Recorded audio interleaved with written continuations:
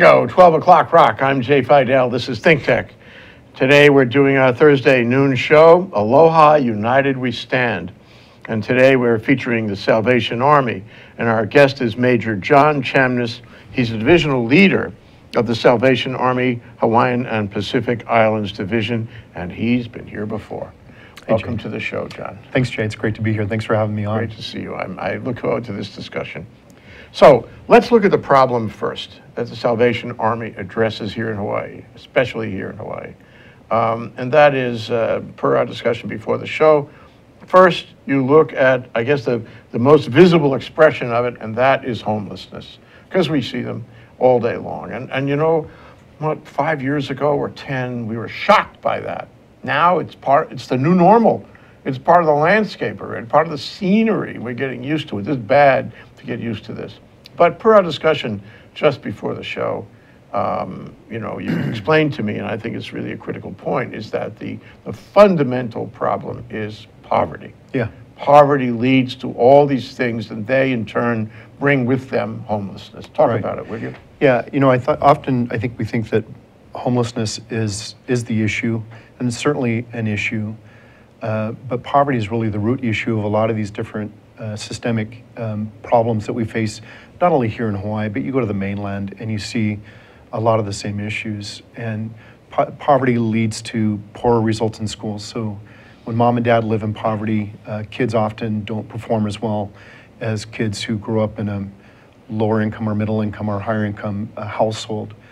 Um, poverty, you know, often leads to, to other issues such as uh, addictions, and that's something that the Salvation Army here in Hawaii uh, deals with acutely. We, we treat, you know, 22 to 2,700 men and women every year through one of our three drug and alcohol treatment programs. And, and again, we're just really treating the, uh, not the root cause of, of addiction, Right. but really just the result of addiction. Right. But we've got to do that. Oh, absolutely. we, we can't solve the, you know, the root cause without a really special effort. We talk about that later in the show. Yeah. But for the moment, the Salvation Army and many other 240 or 50 other charitable organizations funded by Aloha United uh, Way are addressing the people on the street. Yeah, so we're, we're doing it in a number, number of different ways. Um, the $5 million grant that was given by the state to Aloha United Way, I think has been really helpful in, in um, getting uh, people into housing. Um, I forget the number right now, but there's several thousand that have been housed through that uh, grant by the state. And we need to see more of those types of things. But one of the, one of the more difficult parts of this, Jay, is that there's just not a lot, uh, there's not enough affordable housing here in our state. There's just not enough apartments that are really affordable to those that live, you know, in, in the lower income. uh, For this regions. discussion, help me understand what is affordable housing? What, how do you see it? What is the best model? You know, if I were if I were going to give you affordable all the affordable housing you wanted, I'd like to be able to do that. what would it look like? What what kind of housing are we talking about? You know, I think it's a variety of housing. You know, it's it's looking at what they're doing over at Mayor Wrights, and they're going to be regentrifying that area. Fortunately, they're going to keep um, the same number of low-income units within that housing units, but they're also going to build uh, moderate income to middle income to workforce housing. And I think we need to look more at that. I, I would hate for us just to do low-income housing all by itself in isolation. I think project problem. yeah, I, I think, you know, that's the, the issues of the 70s that we're now dealing with today. And so I'd rather see uh, multiple uh, economic um, ranges living in the same type of housing. I think that's a much more healthy approach. And I think studies would, would demonstrate that that's a better way to look at this issue. The, the, the, the fact is that we just do not, we're about 16,000 units short of housing just here on Oahu right now. That's And it- huge when you start counting them if, up. if you build any housing, whether it be middle income, upper income, or low income, any housing right now is going to help the, the deficit in the housing market across our state. Uh, it's something that we just have to do. If we really want to deal with this issue of homelessness, if we really want to deal with this issue of, of um, poverty, uh, we've, we've got to build more housing, period. And certainly some of that needs to be uh, affordable for those that live uh, in that, that lower percentile. Yeah. And um, So I talk, you're talking about all kinds of business models, all kinds of ownership arrangements. Yeah. But somebody who doesn't have a lot of money, or maybe even no money, uh, will be able to get housing. Yeah? Yeah, of some sort. I mean, otherwise we have people living on the street, and, and that's just not, uh, that's not, we should not, we- this is America. And we shouldn't have people living on the street. We're supposed to have big hearts, aren't we? Yeah, and well, I think we do have big hearts, but I, I think we just have to really come together on this issue and un- understand this is a crisis in our community. Uh, Hawaii News Now, Star Bulletin, I think have done a great job of profiling this issue for the past couple of years. And they've really pushed this to the forefront uh, in our community to help us to really get our hands around this. Um, but then I think the next step is for us to, to really figure out an effective way to deal with this uh, that, that uh, um, really maintains the dignity of the individual. I mean, the Salvation Army's down there on the streets of Chinatown and Kaka'ako on a regular basis. These are our friends that we go to uh, on a regular basis, and we provide a peanut butter sandwich just to develop a conversation and to get to know people. And, and that's kind of the, the entry point for us to hopefully finding a way that we can get that person from that really basic step of living on the streets to maybe into some kind of sort of a shelter or into a treatment program. Just that next step before they go further. So how does it beyond that. work? I'm really curious. This, Yeah. this moment here at Christmas, um, you're down there. Uh, you're in uniform. Uh, you have a bag of peanut butter sandwiches, and you see somebody on the street who is clearly a, a candidate for assistance of some kind. Um, so you approach that person. What's the conversation like? You know, often it's just getting to know them. That's th- th- one of the things that people need to understand is that you have to build a relationship with Yeah. anybody. And so a lot of what we do is just building relationships with people on the street so they trust us that when we refer them someplace that we're, we're really thinking of their best good. And, and for a lot of these people living on the street, it's very difficult. And, it, and it's very difficult to get from where they're at to where they want to be or where they need to be.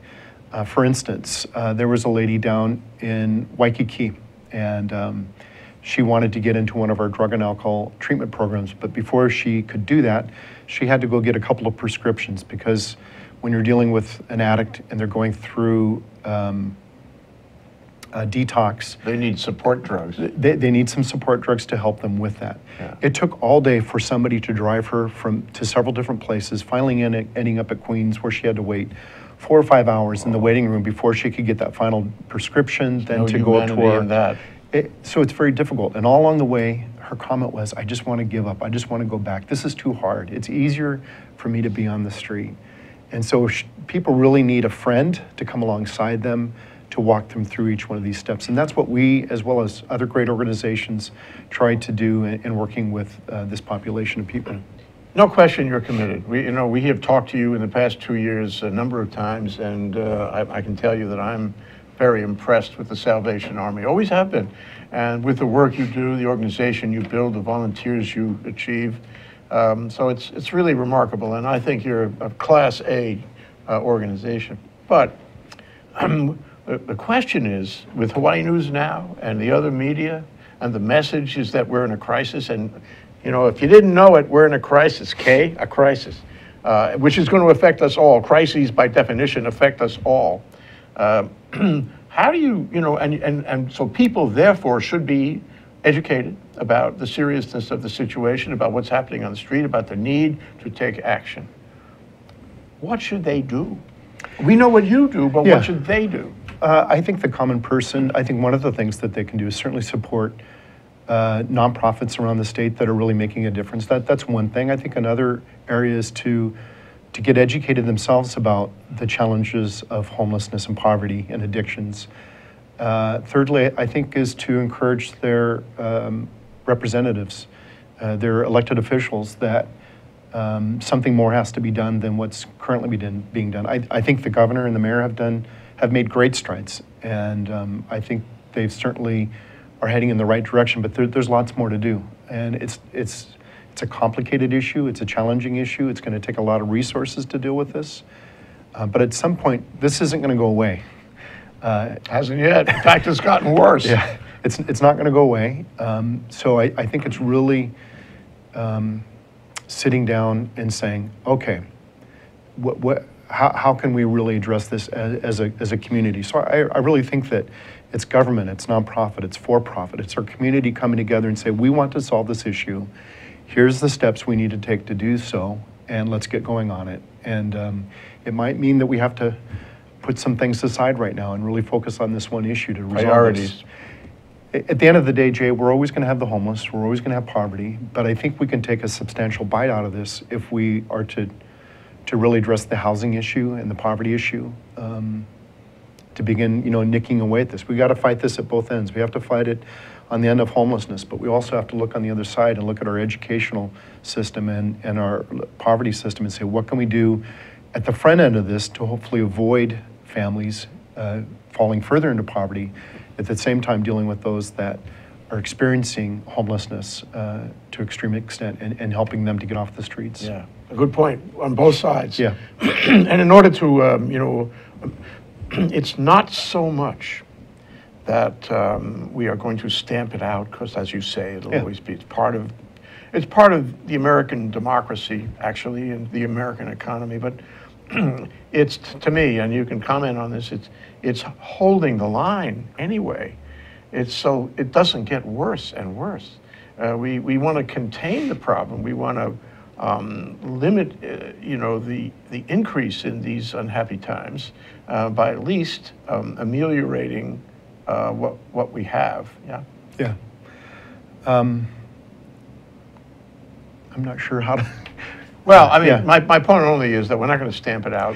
No. And so we should address making sure it doesn't get worse. Well, and I think that's a little bit what we try to do um, during the Christmas season. The Salvation Army, for the past 121 years, has tried to make Christmas a little brighter for those who are down and out. So that's our, our Angel Tree program and Yeah. the great sponsors that we have, like Central Pacific Bank and Burger King Hawaii, to make sure that you know those kids who are struggling at this time of year, the families that are struggling, get presents. And last year alone, we provided 72,000 toys to kids, and I, I should also say seniors across our state, to ensure that on Christmas morning, uh, those that are in need have a Christmas, a brand new Christmas present under that tree.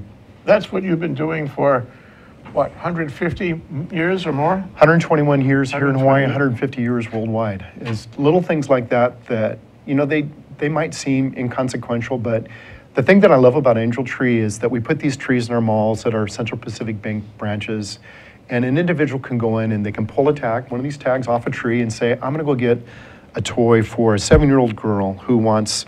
Just something uh, simple for Christmas. Oh, like- each one of them has a, has a. yeah, so this is an actual boy or an actual girl, Oh. gives their name and a suggested gift. Four-year-old boy wants beach toys.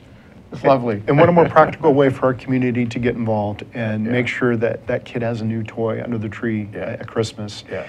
Uh, but you know what I hear uh, at our Christmas kettles is people will come up to me and say, you know, 30 or 40 years ago, my family was down on their luck and parents didn't have any money to buy Christmas gifts, but we got a gift from the Salvation Army that year, and that really made a difference. People never forget. They, they don't. They don't. Yeah. And um, So we, we have the, the kettles, yep. we have the uh, angel trees. Yep. Uh, tell me about some of your other programs uh, that are either focused on this season or otherwise. Uh, the kettles and the angel tree are the primary uh, uh, focus uh, of our efforts this time of year. Certainly, raising the money through our kettles is vitally important. That that funding goes towards. Uh, first of all, it stays right in the community in which it's raised. So if you're in Kona and you're putting money in that bucket in Kona, it stays That's in Kona. That's good, good to know. And um, it, it, uh, we have um, homeless feeding programs across the state. So you know, you go to that soup kitchen, you're going you're going to get a hot meal.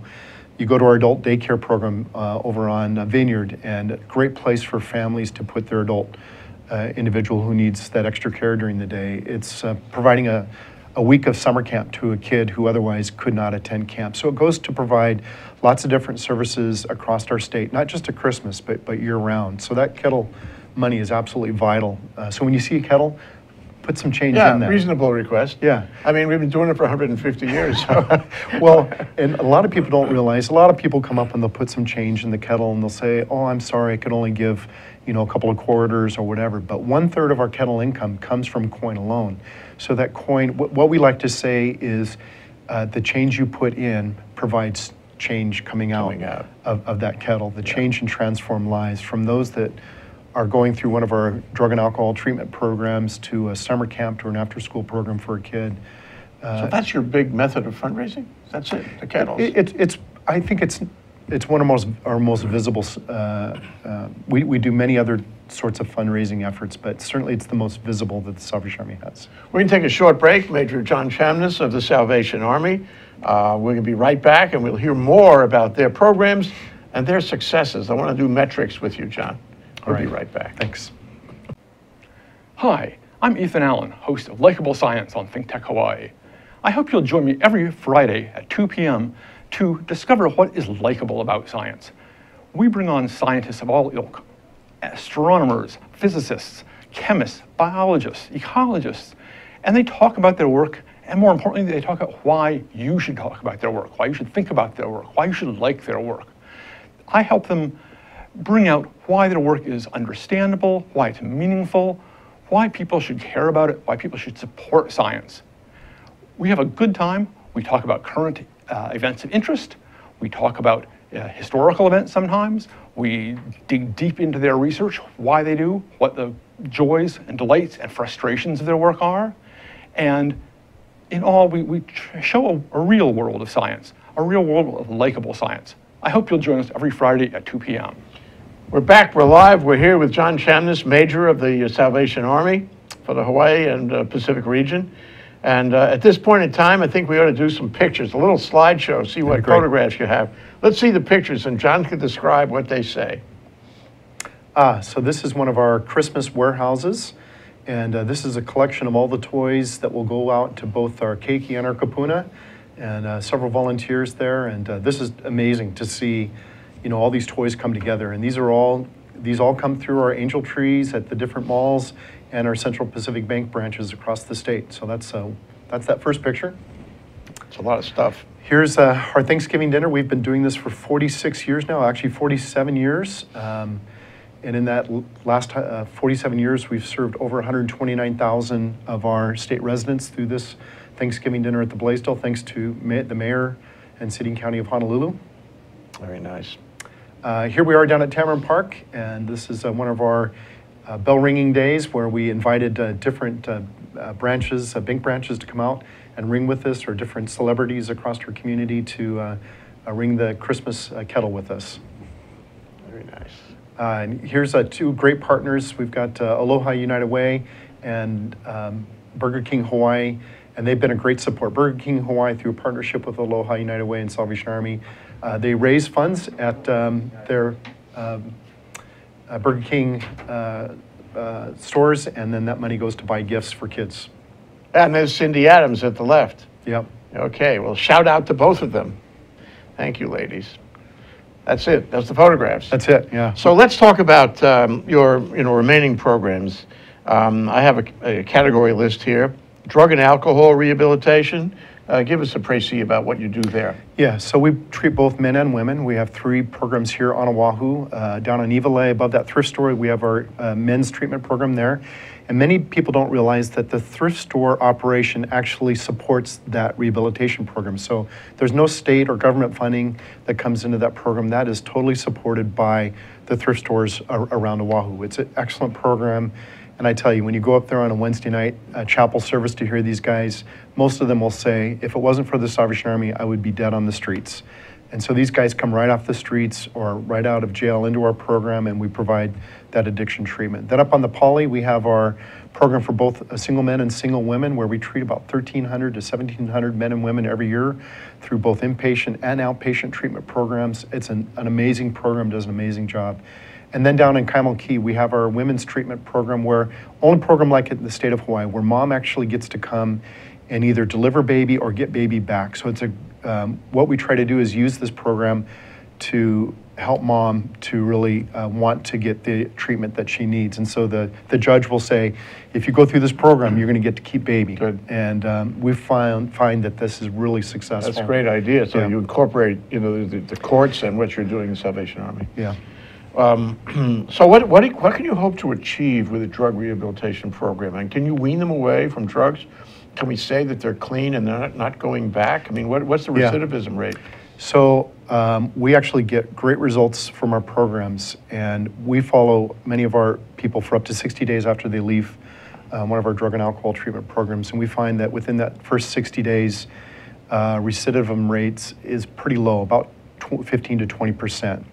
However, what we found and what's kind of the national statistic is that if uh, if a person does not get that continued support and help that they need once they leave treatment, uh, very often they're likely to go back to their addiction because they not, they've not built that network. They've not really dealt with many So of the issues. you need to give them a continuing support. Right. So we've started a new program a couple of years ago called Pathway of Hope. And Pathway of Hope pairs up case manager, a life coach with a graduate of one of our programs where we help them to find housing, job, and a connection to a new community. We find over and over again that if you can do those three things, get them into safe, secure housing, find them a job that actually pays them a livable wage, and then connect them to new friends, uh, that the recidivism rate goes from uh, like an 80% down to about 20%. So it's almost a complete reversal if we're able to do I that. keep doing it. It's really important because if you, if they, if they fall back into it, they become a burden on everyone and a risk on everyone. And they, their lives are destroyed ultimately, uh, or taken. And so uh, what you're doing there is you're, you're giving them the gift of life. And we see it over and over again. Uh, we know that if we can follow that person for up to a year to two years after they leave treatment, that they're, they're, you know, they're successful in life. And we, we have so many people that will come back and say, I've been clean and sober now for 25 years, 30 years. And it was because of those three things. I got a job, I, I got a place to stay, and I got a new network of friends. And we see that over and over again, Jay. What's the bigger risk, alcohol or drugs? Uh, well, um, certainly um, the meth uh, or, or crack is, is the number one drug of choice by about 75%.